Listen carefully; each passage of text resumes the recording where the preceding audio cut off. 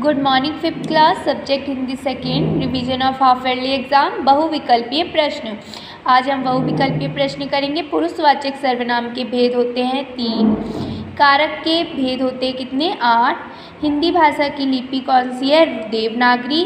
कौन सी भाषा अंतर्राष्ट्रीय भाषा है? तो वह है अंग्रेज़ी। स्पर्श व्यंजन होते हैं ट्वेंटी फाइव। भाषा की सबसे छोटी इकाई होती है वर्ण। वर्णों के सार्थक मेल को कहते हैं क्या? शब्द। रिक्त स्थान की पूर्ति कीजिए। शब्दों के सार्थक समूह को क्या कहते हैं? वाक्य कहते हैं। कौन से? सार्थक समूह को। सेकंड है, प्रयोग के आधार पर शब्दों को दो भाग, दो प्रकार के होते हैं शब्द। प्रयोग के आधार पर स्वरों का उच्चारण स्वतंत्र रूप से किया जाता है। व्याकरण हमें भाषा संबंधी का ज्ञान कराता है। व्याकरण से हमें भाषा का ज्ञान होता है। संस्कृत भाषा की लिपि देवनागरी है।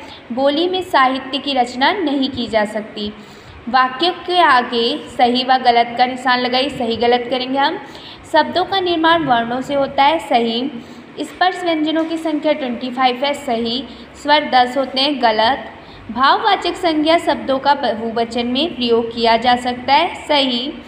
विशेषण शब्दों से भाववाचक संज्ञाओं की रचना नहीं की जा सकती, गलत।